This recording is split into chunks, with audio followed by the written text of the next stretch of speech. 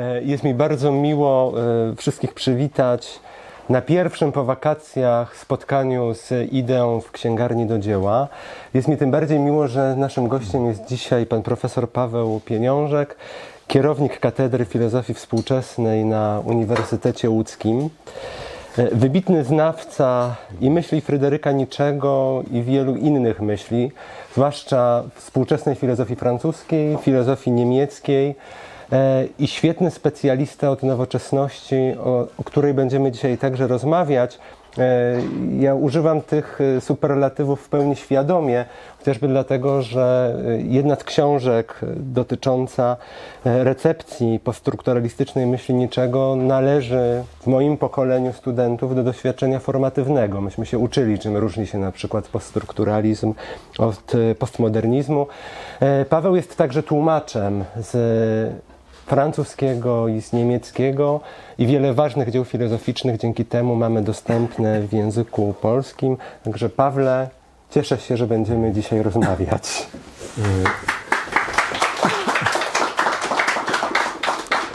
Dziękuję bardzo. Mam nadzieję, że się nie ugnę pod ciśnieniem tychże superlatywów.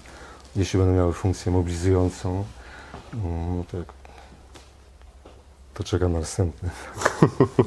E, Jestem pewien, że tak będzie. E, A zacząć chciałbym, zanim przejdziemy do samej książki, od pytania o Rousseau, bo e, osoby, które widziały zapowiedź wydarzenia na Facebooku, jeżeli chodzi o dzisiejsze spotkanie, mogły tam przeczytać, że Rousseau jest filozofem znanym, ale filozofem niedocenianym. I czy ty się z tym zgadzasz? A jeżeli tak, to gdzie lokowałbyś źródła tego, że Rousseau jest filozofem niedocenionym? Zgadzam się jak najbardziej, bo to są moje słowa. E, Więc e, jak najbardziej. E, No bo wszyscy znamy Rousseau, prawda? Z różnych kontekstów, z różnych aspektów on się pojawia, tak, jako wybitny myśliciel oświecenia, ale zawsze jakoś na uboczu, no bo w tym głównym nurtu oświecenia, nazwijmy, w tej awangardzie oświeceniowej, e, e, krótko mówiąc, e, do niej nie należy. Nie należy do tak zwanych filozofes, prawda? Filozofów, tak, przez których rozumiano no właśnie awangardę filozofów oświecenia. Olbach, Diderot, Voltaire, Condillac, Helwecjusz. Więc w jakiejś mierze e, e, Rousseau nie jest z nimi kojarzony, prawda? Też nie jest na marginesie oświecenia skądinąd, więc trudno go usytuować, tak? Znany jest z poglądów politycznych, znany jest z tego, że był, e, był, krótko mówiąc, jego twórczość była w jakiejś mierze zapowiedzią rewolucji i rewolucja odpowiednio honorowała, prawda? Rousseau umieszczeniem go zaraz tuż po Wolterze w Panteonie, prawda? E, francuskim e, w Paryżu. E, więc e, rewolucja dokonywała się w imię haseł rousseauistycznych, tak? Wolności, równości, braterstwa, haseł politycznie, prawda, zradykalizowanych w rewolucji. Więc Rousseau jest znany z wielu kontekstów. Znany jest właśnie jako myśli oświecenia, znany jest ze względu na poglądy polityczne, tak? Jest ojcem umowy społecznej, która doczekała się bardzo bogatej recepcji, zarówno w kręgach, nazwijmy, liberalno-demokratycznych, jak i prawicowo-totalitarnych, ze względu na niektóre konsekwencje tejże myśli, prawda? Więc oświęk tej myśli był, chociażby jeśli chodzi o ten wymiar polityczny, e, bardzo szeroki. To tyle, prawda, właśnie takiego migotliwego pojawiania się Rousseau na naszym horyzoncie intelektualnym, ale z drugiej strony jest właśnie, no właśnie jakoś niedoceniany, bo nie jest chyba odpowiednio, krótko mówiąc, usytuowany w oświeceniu, prawda? Nie ma swojego stałego miejsca, nie wypracowano dla niego e, w historii intelektualnej odpowiedniej jak gdyby pozycji, tak? Jest takim X-em, takim punktem niewiadomym trochę, którego można przemieszczać w zależności od konstelacji intelektualnej, w której się go jakoś umieszcza, czy do której się go e, przypisuje. E, więc e, ja go próbowałem jakoś tak przyszpilić, krótko mówiąc, mm, spetryfikować intelektualnie, związać go z jakąś taką w miarę e, istotną formacją, e, kulturowo, prawda, historyczną, czyli z nowoczesnością i pokazać go jako e, prekursora nowoczesności, jako pierwszego myśliciela e, nowoczesności par excellence, tak? Dobrze. Nie wiem, czy działa to urządzonko, tak? Aha. Dobrze. Więc, y, żeby nawiązać do ostatniej wypowiedzi, mówię to z całą odpowiedzialnością intelektualną, tak? Y, Rousseau jest pierwszym filozofem nowoczesności. To znaczy w tym podwójnym tego słowa znaczeniu, prawda? W jakiejś mierze opisuje nowoczesność, ale i do niej należy.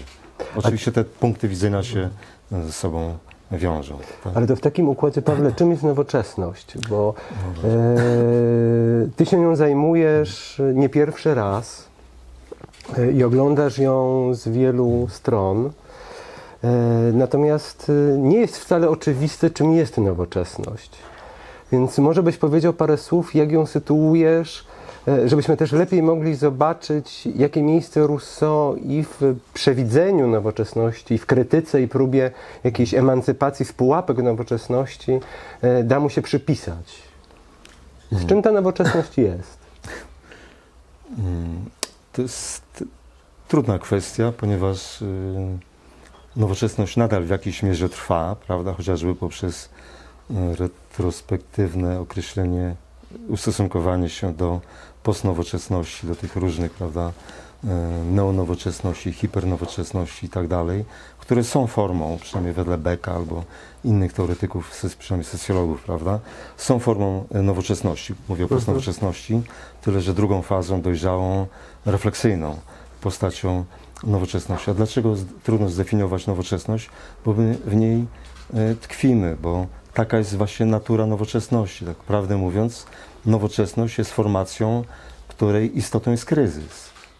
Nieustanne samoprzekraczanie, więc no- nowoczesność ciągle na nowo się samokreśla, prawda? Rousseau był tym, który po raz pierwszy próbował ją określić, prawda? Osaczyć intelektualnie, skategoryzować, umieścić w jakiejś mapie, prawda? Kategorialno-intelektualnej, tak? Nawet jeśli nie, nie, nie, nie teoretyzował tego pojęcia, nie tworzył jeszcze teorii nowoczesności, prawda? To praktycznie opisywał e, procesy nowoczesności. Więc nam trudno w tej chwili naprawdę jeszcze określić nowoczesność, bo nie mamy takiej perspektywy, jaką mamy w stosunku do minionych, poprzednich epok, poprzedzających nowoczesność, prawda, czy mm, epokę średniowiecza, czy Grecję antyczną, prawda, którą możemy opisać. Nowoczesności nie możemy opisać, bo akt opisu jest zarazem aktem e, samowiedzy, który jest strukturalną e, e, cechą samej nowoczesności, tak? Procesu samookreślania się nowoczesności, więc w jakiejś mierze uczestniczymy chyba w tym akcie samookreślania się nowoczesności, gdy próbujemy tak na prędce w kontekście Rousseau, prawda, definiować nowoczesność. Ale oczywiście mamy intuicyjne i nie tylko intuic- intuicyjne określenia nowoczesności. Można wskazać na jakąś wiązkę procesów czy zjawisk, które towarzyszą nowoczesności. Pierwsze to jest zjawiska modernizacji ekonomiczno-społecznej, kapitalistycznej, tak? Czyli pojawienie się e, gospodarki e, towarowej, tak? kapitalizmu, krótko mówiąc, tak?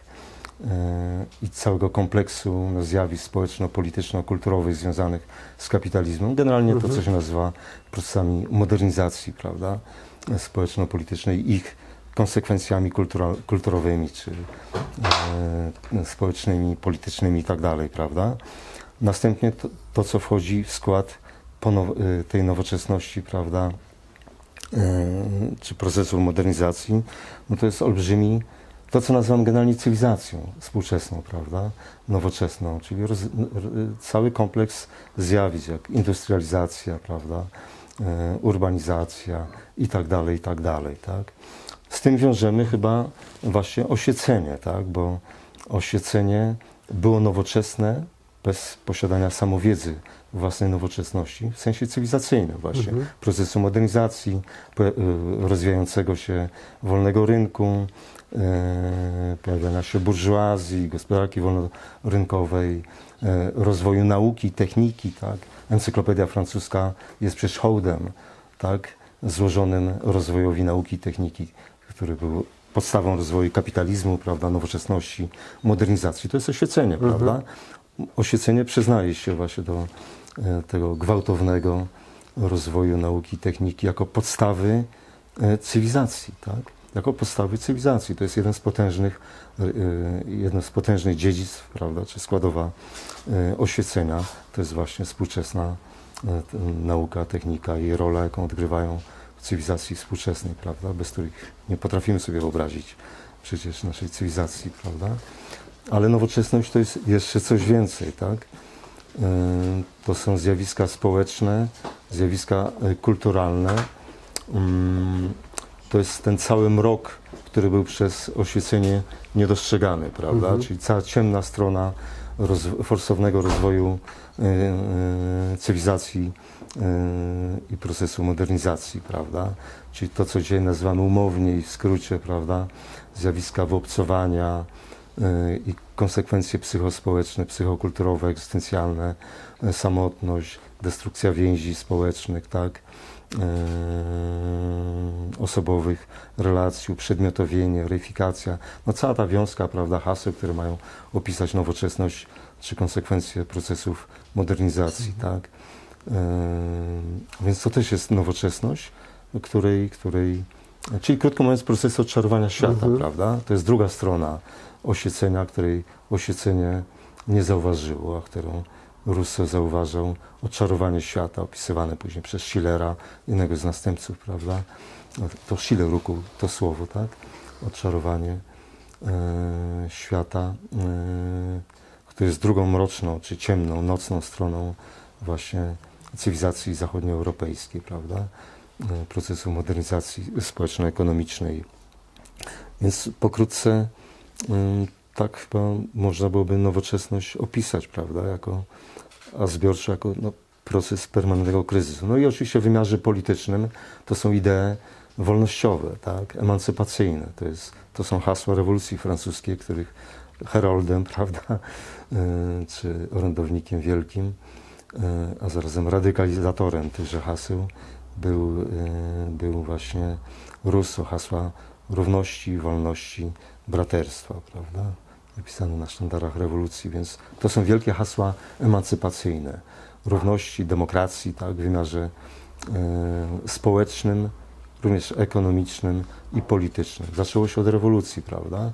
Przy, przepraszam, od czasów oświecenia mamy. Mhm. Również komunizm też należy organicznie jakoś do oświecenia, pomysły utopijne, Meblego, prawda, Duchampa, e, czy innych myślicieli. Więc Salman wachlarz, prawda? Postaw już takich nowoczesnych w oświeceniu, więc myślę, że tak należałoby zdefiniować szeroko, prawda? E, Oświecenia jako pewną wiązkę właśnie procesów czy zjawisk im towarzyszących. A jakie jest miejsce Rousseau, prawda? No właśnie Rousseau reprezentuje tą nocną stronę, mroczną czy ciemną oświecenia, tak? Czyli zapoznane w oświeceniu, tak? W euforii e, progresywistycznej, tak? E, W entuzjazmie progresywistycznym zapoznane cienie mm, mm, oświecenia właśnie, konsekwencje odczarowania, tak? Czyli te zjawiska, które za, zaczęto zauważać później właśnie, odczarowanie świata, tak? Dezorientację człowieka, utratę orientacji duchowej, tak? Ym, pauperyzację w jakiejś mierze duchową człowieka, tak? Którą Rousseau zauważa i którą ten motyw, prawda, podejmie później idealizm niemiecki, tak? Relatywizm kulturowy y, i społeczny, który no, podważał normatywne podstawy jak gdyby aktywności duchowej człowieka, tak? Więc to jest to odczarowanie, które zauważył. Następnie procesy związane, społeczne, związane y, z pojawieniem się y, gospodarki rynkowej, z kapitalizmem, z pojawieniem się nowych klas ascendujących czy wstępujących, jak prawda, burżuazja, mieszczaństwo, czy y, no, mieszczaństwo, prawda? Nierówność społeczna, tak? Konsekwencje tej y, psychospołeczne nierówności, tak? Które zauważa właśnie Rousseau, tak? No i te wszystkie procesy niekorzystne, które są drugą stroną właśnie kapitalizmu, czyli zjawisko alienacji. Tak? Pojęcie wyobcowania tak naprawdę jest pojęciem, które e, e, wykuł w sensie konceptualnym, prawda, pojęciowym e, Rousseau, prawda? On opisał świat wyobcowania, tak? czyli wyobcowania jednostki samej siebie zarazem z własnej esencji, z własnego człowieczeństwa, jak i z relacji społecznych, tak? E, jak i ze świata, tak? czyli w obcowania gdyby integralnego, tak? przenikającego wszystkie aspekty ludzkiej egzystencji, tak? obcowania z siebie, z relacji społecznych, wspólnotowych, tak? dezintegracji wspólnoty, wspólnoty zanik więzi prawda? osobowo, bezpośrednich, emocjonalnych, no i w obcowaniu człowieka ze światem, tak? poprzez no, forsowną eksploatację y, świata. Tak? Te zjawiska Rousseau zauważa, opisuje i prób, próbuje ująć w jakiejś spójnej płaszczyźnie teoretycznej, aczkolwiek to nie jest ta płaszczyzna, którą dzisiaj dysponujemy dzięki Marksowi, prawda, Weberowi czy innym teoretykom, ale przynajmniej w perspektywie historiozoficznej, prawda, Rousseau scala te wszystkie pojęcia i tworzy w miarę wspólną e, koncepcję, prawda, e, rozwoju e, społeczeństwa. Więc w tej mierze też jest pierwszym socjologiem, co prawda Habermas czy inni okrzykują Marksa jako pierwszego socjologa, no bo rzeczywiście opisał nowoczesne społeczeństwo, które pojawiało się, pojawiło się wraz z kapitalizmem, tak, ale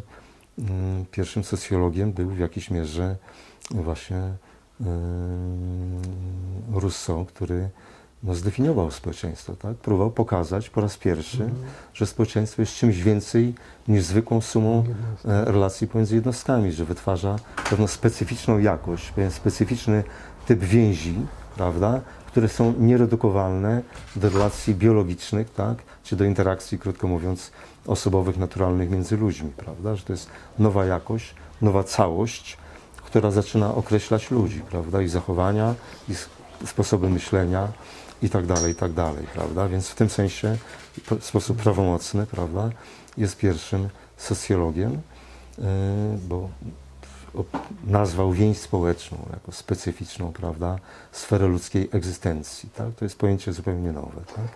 No i opisywał to społeczeństwo, tak? Tak, jak je widział.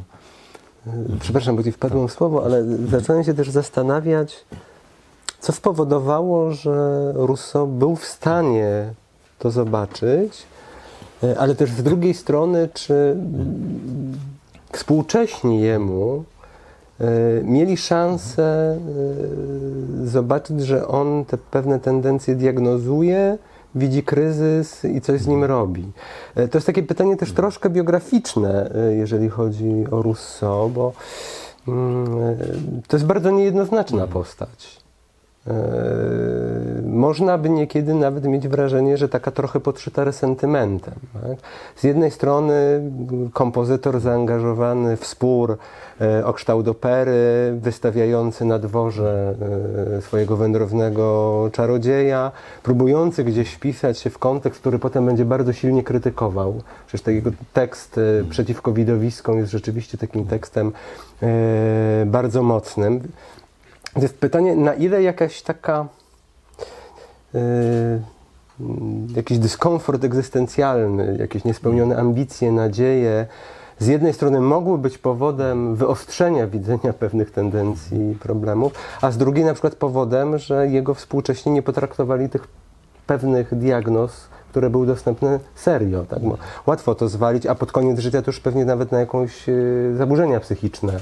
Tak? I machnąć ręką i powiedzieć, że to jest intelektualnie niewiele warte. Dokładnie. Ja myślę, że on miał specyficzny status takiego koczownika prawda, intelektualnego, y, którego trudno było zidentyfikować, wpisać w jakieś poszczególne nurty w obrębie samoświadomości oświeceniowej, prawda?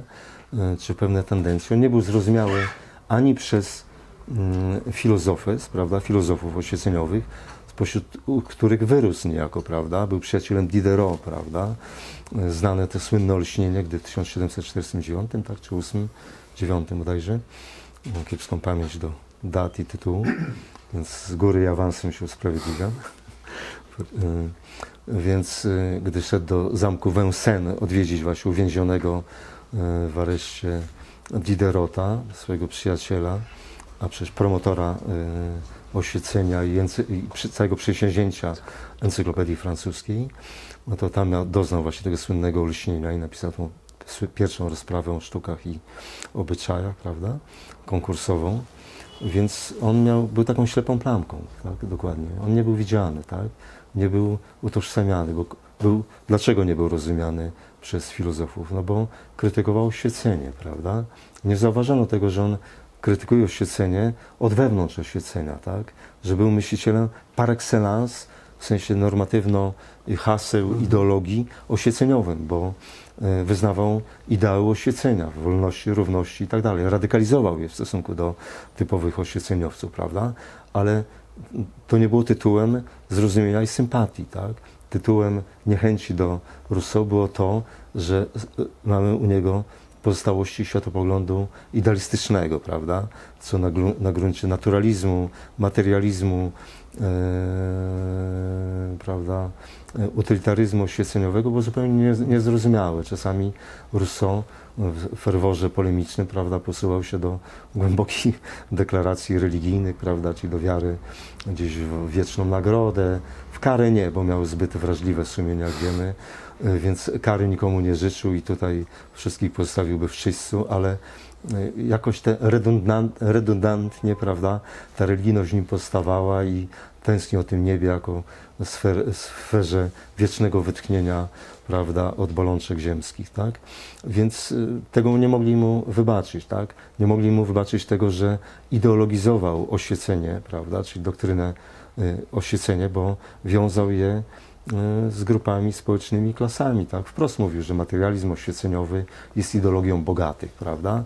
Czyli również Woltera, arystokratów, którzy, czy, czy, czy mieszczan, prawda? A wiemy, że wśród filozofów było wielu arystokratów, jak Olbach właśnie, Wolter, i tak dalej, E, ale tutaj bardziej chodziło o to, kim oni, co oni reprezentują, jakie grupy, prawda? I po raz pierwszy przecież tak naprawdę ujmował filozofię w kategoriach ideologicznych, tak? Rousseau, tak? Wręcz powiadał, że ateizm, materializm to, e, to jest pewien był skrót oczywiście e, dla Russa, Mm, to jest właśnie, to są formacje, które wiązał z tymi negatywnymi zjawiskami, prawda? Związanymi z oświeceniem. Więc y, z tego tytułu oświeceniowcy go nie rozumieli, tak? Uznali atak, te, te, te szyldy, prawda, materializm, ateizm i tak dalej, naturalizację człowieka i tak dalej, uznali za, za no, po prostu za cios zadany oświeceniu, podczas gdy Rousseau próbował zaatakować oświecenie od wewnątrz, próbował pokazać, krótko mówiąc, że y, narzędzia filozoficzne, którym posługuje się oświecenie są kontroświeceniowe, że nie służą ideałom oświecenia, a służą właśnie kontroświeceniu, czyli zaprzeczeniu oświecenia. Nie wolności, tylko zniewoleniu. Nierówności, tylko nierówności. Tak? Że, idol, że oświecenie w toku swojego rozwoju, hasła, prawda, czy doktryna oświeceniowa, staje się ideologią tychże e, ciemnych procesów, prawda, nierówności, zniewolenia i tak dalej, i tak dalej. Tego nie, moż, nie mogli mu wybaczyć. Nie rozumieli w imię czego tak naprawdę poddaje krytyce, skoro mamy postęp, prawda, skoro e, mamy, jesteśmy w awangardzie, skoro świat się rozwija, zrzucamy stare kajdany, prawda, walczymy przeciwko ancien reżimowi, przeciwko feudalizmowi, przeciwko kościołowi instytucjonalnemu i konfesyjnemu, tak jak i Russo, prawda, to czego ten Russo się czepia, prawda? On był kompletnie niezrozumiały, prawda? Tak samo nie był rozumiany przez drugą stronę, rzecz jasna, ze względu na potężną krytykę Starego Ładu, prawda, feudalnego i ancien reżimu, ze względu na hasła równości, wolności, braterstwa, nie tylko w wymiarze polityczno-prawnym, ale i również społecznym. Czyli krótko mówiąc, w swojej krytyce Starego Ładu szedł dalej niż oświeceniowcy, więc przeciwnicy, czyli no, royaliści, prawda, tradycjonaliści, e, Kościół, tak, e, kler rozpoznawał idealnie Rousseau jako swojego wroga. Oni bardzo trafnie go rozpoznawali, tak. E, był prześladowany, jak wiem, prawda, Emil był palony, umowa społeczna, musiał salwować się ucieczką i tak dalej, tak. Więc tutaj mam do czynienia z trafnym rozpoznaniem, oczywiście, ale to rozpoznanie y, dokonywało się na, na poziomie właśnie ideologii, idei, mhm. prawda, a nie na poziomie diagnozy nowoczesnej, prawda. Ta diagnoza, krótko mówiąc, która jest osiągnięciem Russo, prawda, nie była ani rozpoznawana przez jego przeciwników z prawej strony, ani z lewej strony, czyli w, w obrębie jego własnego obozu. Tak? Russo, jeszcze powtarzając się, krótko mówiąc, atakował oświecenie z pozycji oświeceniowca, prawda? Pokazywał, że środki właśnie filozoficzne, jakim dysponuje oświecenie, tak? czyli mechanicyzm w rozumieniu świata i człowieka, prawda? Y, Taki materializm mechanicystyczny, no właśnie naturalizm, utylitaryzm, takie rozumienie czysto utylitarystyczne, taka antropologia naturalistyczno-utylitarystyczna, prawda, która odduchawia człowieka, sprowadza go do naturalnych zachowań przyziemnych, tak, które by korespondowały z tym światem mieszczańskim, prawda. Ta krytyka zupełnie była y, niezauważana, a wręcz była niewybaczalna, prawda, więc on był w takim miejscu, mm, które przez nikogo nie było widziane w oświeceniu. Yy, To była taka wąska szparka, przez którą patrzył na świat, prawda?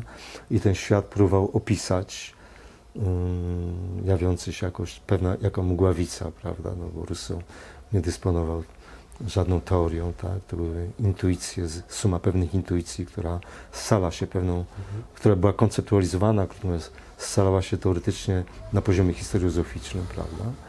E, Jeśli chodzi o narzędzia socjologiczne, to jeszcze nie dysponował, często nakładał stary dyskurs moralistów, prawda, Bowengarga, czy yy, yy, La Rochefoucauld, czy innych moralistów na opis zjawisk, które miały już treść nieuniwersalną, jak w przypadku tychże moralistów, prawda, tylko treść społeczną, yy, kulturową, tak. Yy, Przekładał, krótko mówiąc, tą krytykę na, nadał jej treść socjologiczną czy y, społeczną, kulturową, przekładał jej język opisu zachowań społecznych, społeczeństwa i tak dalej. Tego nie widziano zupełnie, prawda?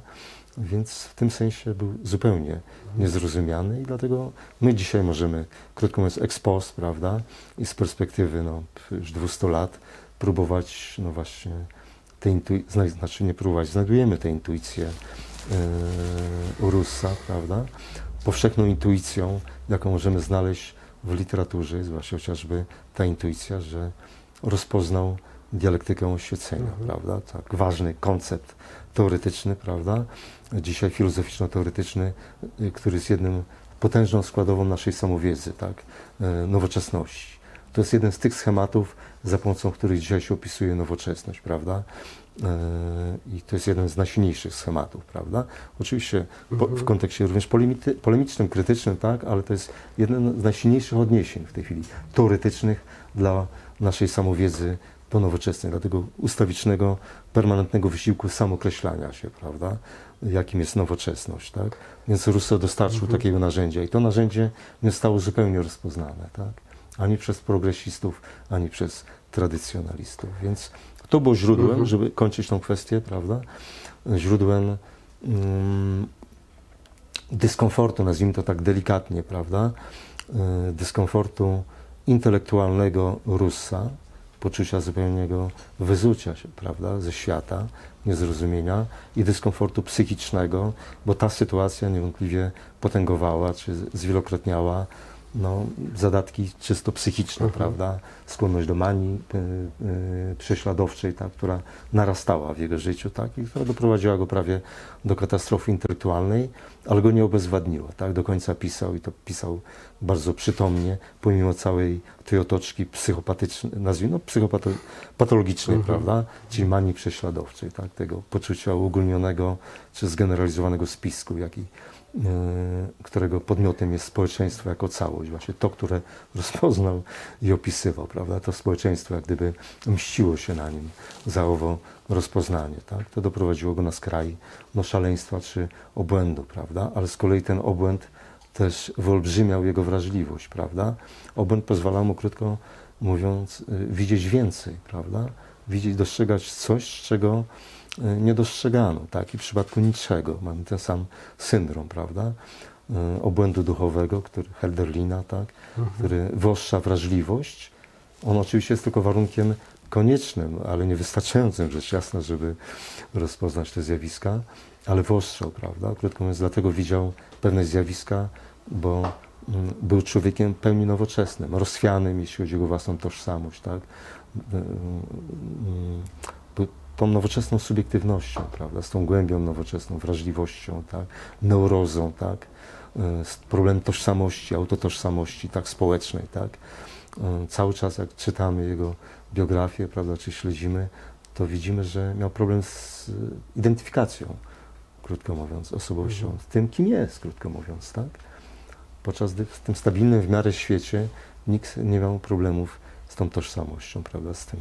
To jest dopiero problem obłędu i z jego znaczenia, to jest problem XIX wieku, prawda, poet Modit i tak dalej, Mhm. prawda, Nietzsche, później romantycy i tak dalej, tak? Rousseau również pod tym względem jest prekursorem, tak? Czyli moim zdaniem istnieje ścisła więź, tak? Jakiś young team e, e, pomiędzy właśnie jego biografią, a, e, a mm, światem, który opisywał. Ta, ta biografia jest takim ekranem, poprzez który spoglądał na świat nowoczesny i odwrotnie, prawda? Ten świat nowoczesny, czy sp- społeczeństwo takie diagnozował, również rzutował na własne życie, tak? Tak, Mhm. dialektycznie splatały się chyba te dwie płaszczyzny w jego życiu. To ja Cię teraz y, pociągnę jeszcze w kwestii dialektyki oświecenia na moment, bo ważnym elementem Twojej książki jest też pokazanie prekursorstwa Rousseau w stosunku do szkoły frankfurckiej. E, jakichś tych płaszczyzn wspólnych w rozpoznaniu dialektyki oświecenia. E, przy, tym, jak w tej chwili mówiłeś, mnie zastanowiły różnice, bo y, rzeczywiście pokazujesz, że Rousseau dokonuje opisu, odkry, odkrycia, być może wytworzenia, bo to jest jeszcze kwestia tego, że to jest, jak mówisz, filozofia eksperymentalna, o ten wymiar też zapytam, bo ten, być może ten eksperyment też wytwarza pewną możliwość opisu, E, ale on to robi w imię oświecenia. Natomiast zastanawiam się, w imię czego była robiona dialektyka oświecenia Horkheimera i Adorna. Też w imię oświecenia. Myślisz? Oczywiście, no w imię ideałów no, w końcu y, y, dialektyka oświecenia, czy historia intelektualna, prawda, twórców dialektyki oświecenia Horkheimera Adorno, czołowych twórców, prawda, szkoły frankfurskiej i teorii krytycznej tak zwanej, wyrastała z marksizmu, tak?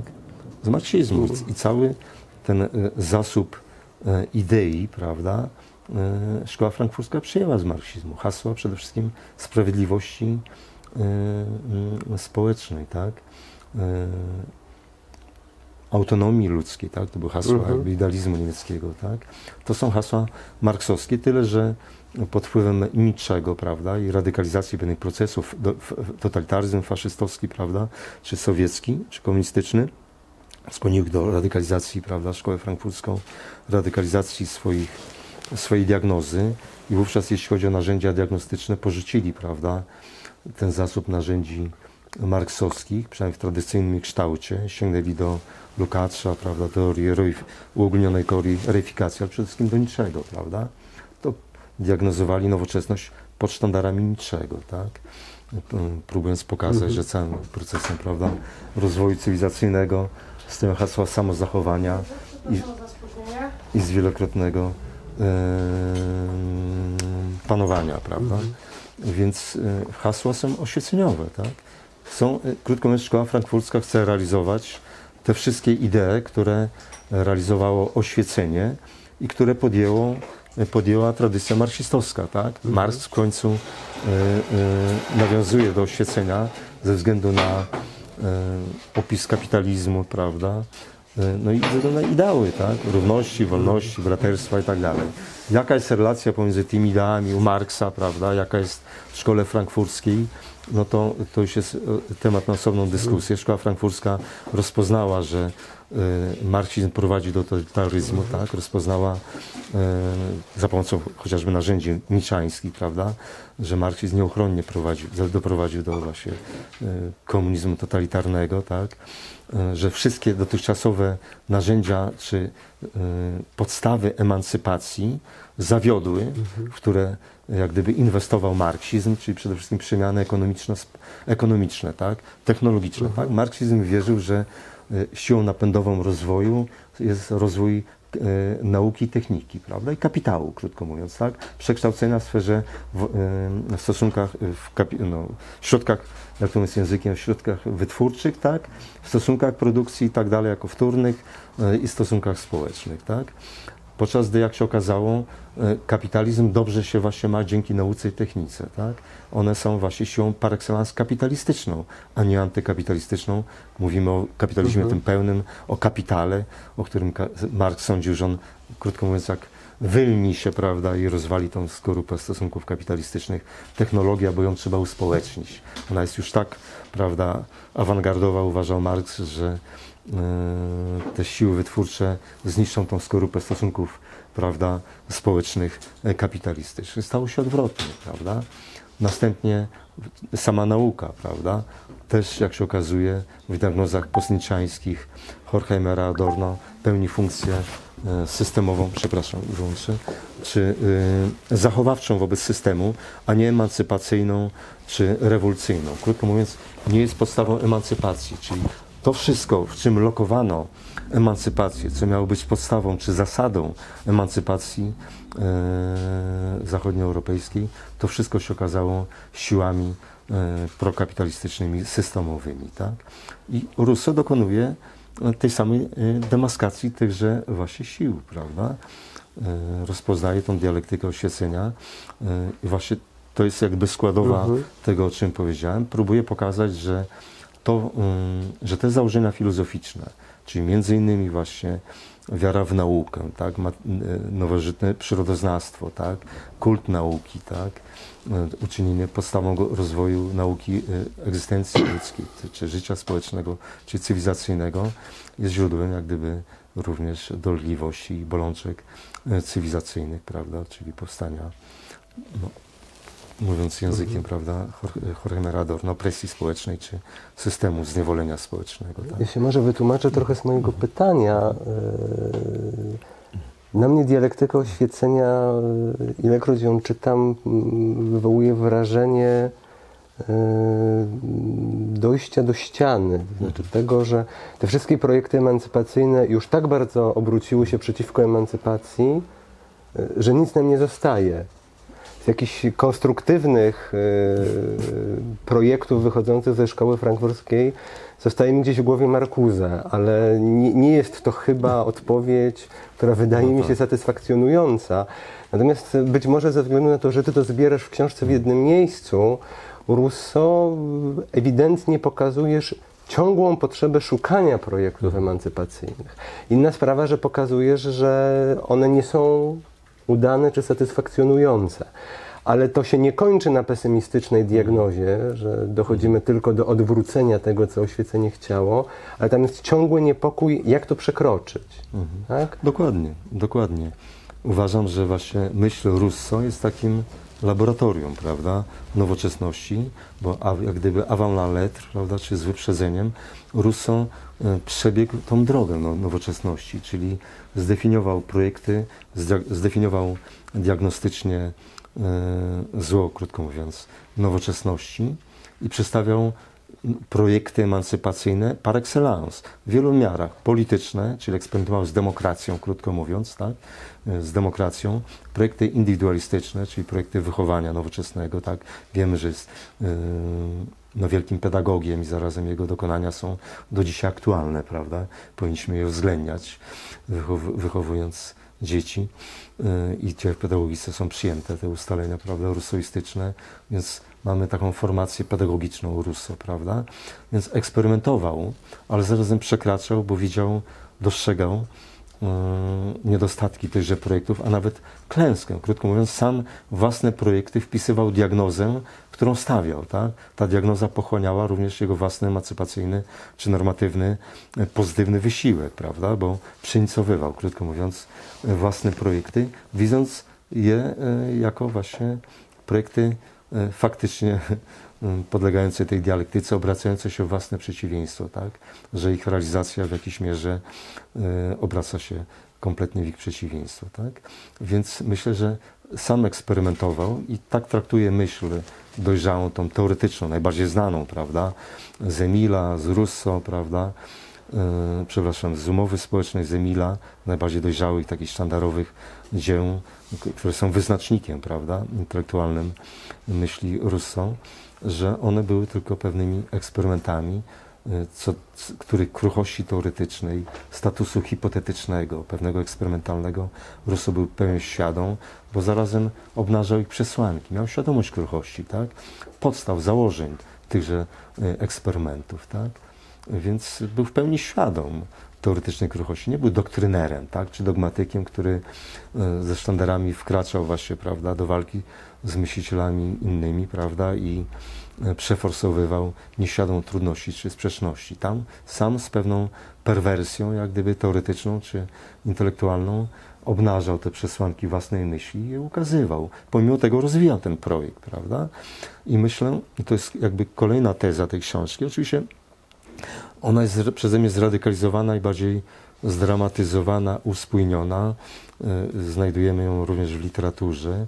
Problem pomiędzy autobiografią, późnymi dziełami y, autobiograficznymi Russo, a właśnie dojrzałą twórczością jest teza Starobińskiego, która właśnie wymagała moim zdaniem rozwinięcia w jakiejś mierze na tyle, na ile potrafiłem.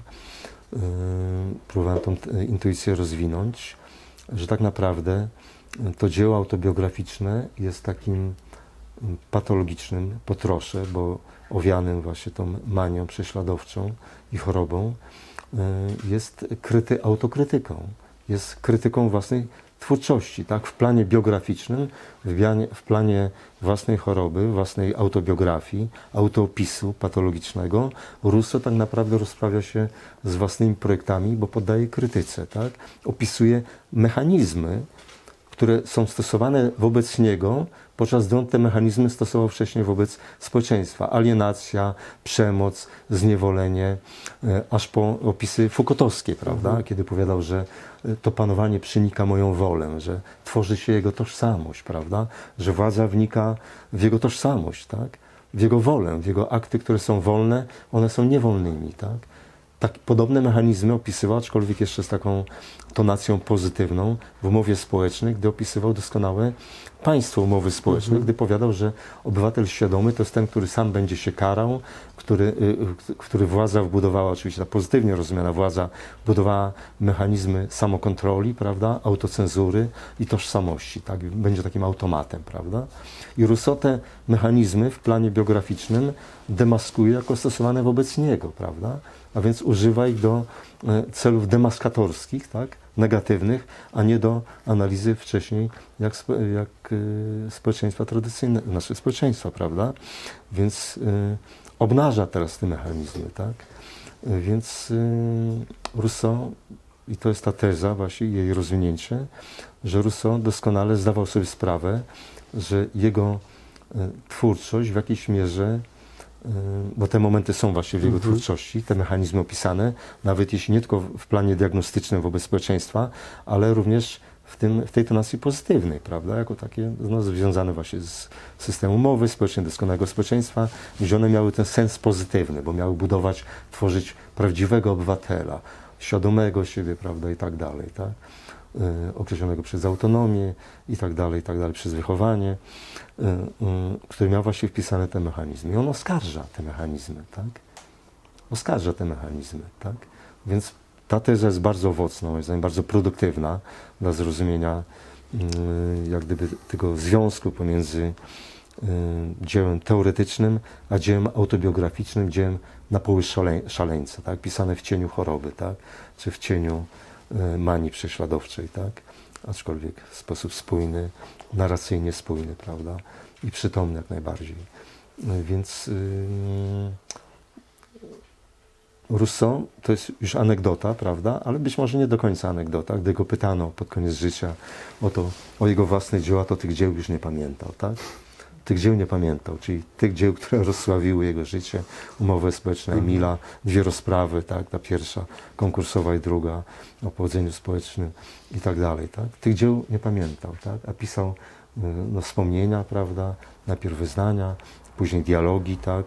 A później przechadzki, gdzie pamiętał biograficzne fakty. Był człowiekiem przytomnym, krótko mówiąc, intelektualnie. Pamięć miał, tak? Więc to jest na połowę anegdota, jest symptomatyczna, tak? Wyparł te eksperymenty, tak? W jakiejś mierze, bo przeńcował je i wyciągnął w sposób, powiedziałbym, katastrofalny dla samego siebie w jakiejś mierze wszystkie konsekwencje y, z tych rozpoznań, prawda, diagnostycznych, bo w jakiejś mierze y, y, y, wywołał wojnę społeczeństwu, tak? Mhm.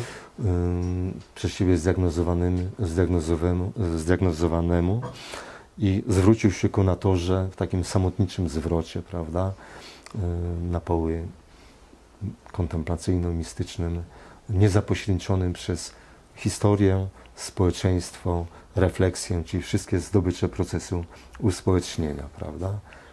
Chcąc jak gdyby zawiązać na nowo więź z utraconą naturą, tak? Jako siłą zbawczą czy ocalającą, tak? Która potrafiła, no, która miała tą moc emancypacyjną i uwolnić go od no, mm, tej ekstencjalnej boleści, tak? Więc y, Rousseau wyciąga swoją postawą, której nie steoretyzował szerzej. Ona ma wymiar bardziej biograficzny, personalny, osobisty, prawda? Ale tą postawą jak gdyby mm, poddał krytyce całe swoje, swoje wcześniejsze dzieło, które polegało na tym, krótko mówiąc, na takim koncepcie, aby w, obrębie historii wyjść poza historią, aby w, obrębie społeczeństwa wyjść poza dotychczasowe społeczeństwo, prawda? Na tym polegały jego eksperymenty, tak? Jak pomyśleć, prawda? Założenia, warunki e, stworzenia nowego społeczeństwa, które by uniknęło tej, tego grzechu pierworodnego, tej skazy, e, jakim, jest, jaki niosło uspołecznienie, własność prywatna, społeczny podział pracy, refleksja, egoizm, procesy indywidualizacji nowoczesne, prawda, czy nowożytne i wszystko, co się z nimi wiąże, tak? Rousseau próbował jak gdyby wy, e, to wszystko wyeliminować, prawda? E, Wyzbyć się tych zdobyczy i nawiązać jakąś kruchą więź e, z tą naturą, tak? Ale wcześniej właśnie pokładał w nich nadzieję, tak? Właśnie w tym paradoksalnym jakby wysiłku wyjścia w historii poza historię, tak? Bo jak zwrócono uwagę, u Russa nie ma historii przez duże H, prawda? Historia nie ma, nie posiada immanentnych praw, tak? Które pracują na rzecz wyzwolenia, mm, które gdzieś na styku ludzkiej, w sprzężeniu z ludzką wolnością, prawda? Postępują, rozwijają, tworzą przesłanki y, jakiegoś nowego ładu, y, emancypacji i tak dalej, i tak. W taką historię nie wierzył, tak? która w sposób samoczynny prowadzi, która na gruncie własnych praw, immanentnych praw prowadzi do postępującego procesu racjonalizacji stosunków społecznych, do emancypacji i tak. Tak? Takiej historii nie ma. Historia jest eksperymentem antropologicznym dla Russa, tak? wraz z wyjściem ze stanu natury człowiek poszedł w nieznane. Tak? Jest takim konkwistadorem metafizycznym czy antropologicznym, tak? Eks- eksperymentatorem. Ma strukturę otwartą. Tak? Y, Człowiek ma tylko skłonność do dos- doskonalenia się, ale w toku relacji ze światem ta zdolność doskonalenia wypatrzyła się prawda? pod postacią Mhm. historycznego, czyli y, oświeceniowego kształtu y, uspołecznienia ludzkiego i ludzkość jak gdyby dryfuje gdzieś w kosmosie, prawda? Określa swój kształt, prawda?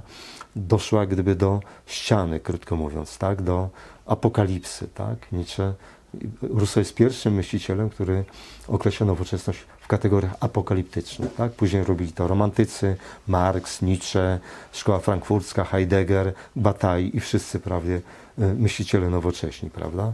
Patrzą na nowoczesność, na apokalipsę, tak? Nowoczesność jest apokalipsą zarazem, która w sobie kryje przesłanki czegoś nowego, tak? Trzeba przezwyciężyć, czy przeboleć nowoczesność, żeby zrealizować jej ideały, tak?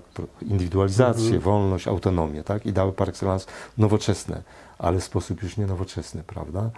Więc te ideały zrealizować, tak? Więc po raz pierwszy określił y, nowoczesność, y, oświecenie, właśnie tę epokę jako apokaliptyczną, jako dno. Tak? Taka metafora dna się pojawia, tak?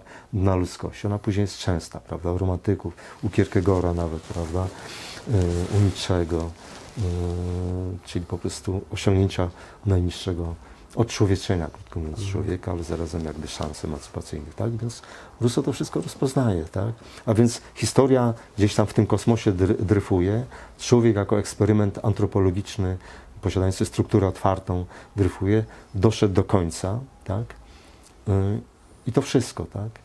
No i teraz w tych warunkach, tak, w warunkach takiej diagnozy, właśnie dialektyki oświecenia, Rousseau próbuje y, przedstawiać swoje projekty emancypacyjne, tak? Świadom właśnie kruchości tych za, założeń, no bo skoro refleksja jest wyrosła ze stosunków społecznych, tak, z procesów indywidualizacji, z nierówności, z przemocy, z panowania, to jak zarazem ona może stać się postawą emancypacji, prawda, racjonalności społecznej czy racjonalności etycznej, prawda.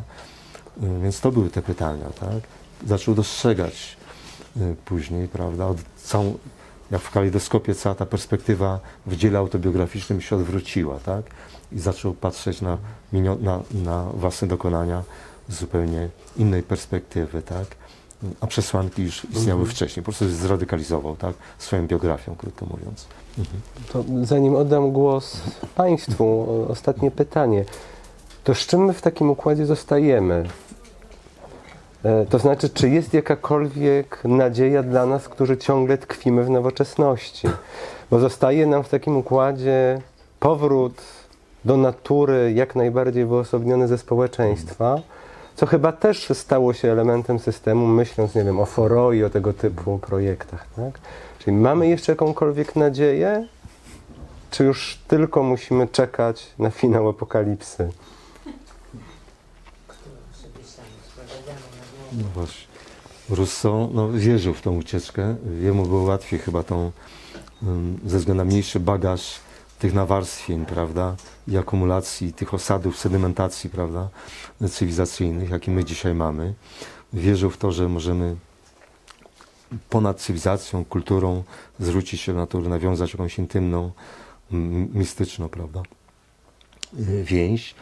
Aczkolwiek no, mm, chyba też był świadom, aczkolwiek może nie był do tego świadom, że ta jego ucieczka do natury jest podszyta e, pewnym i resentymentem, jest podszyta i ma charakter eskapistyczny, że tak naprawdę ucieka od tej natury, prawda, że jego akt twórczy opisuje jest aktem par excellence właśnie nienaturalnym, tylko refleksyjnym, prawda, w którym opisuje swoje marzenia, które miały go jednać i pojednać z naturą, prawda, przynieść mu ostateczne pojednanie ze światem no, poprzez medium natury, prawda?